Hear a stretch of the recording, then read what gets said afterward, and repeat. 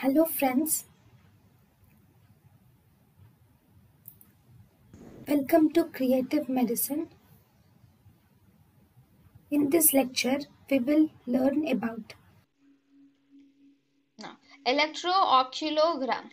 Electrooculogram will measure the standing action potential. It, it measures the standing action potential which is present between the cornea and the back of the eye.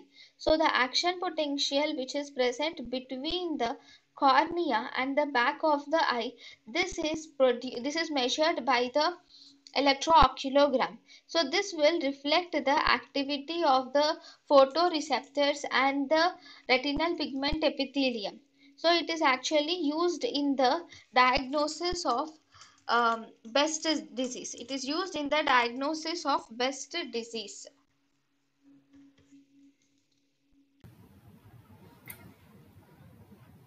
thank you and thank you for watching.